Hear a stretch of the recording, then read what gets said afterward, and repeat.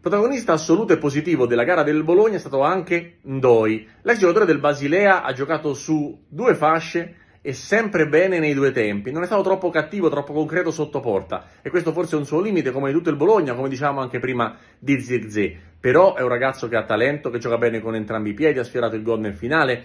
Probabilmente si era preso un calcio di rigore non visto da arbitro e VAR. Insomma, ha fatto una grande, grande partita, pur senza segnare o fare assist. Porta a casa un bel 6,5.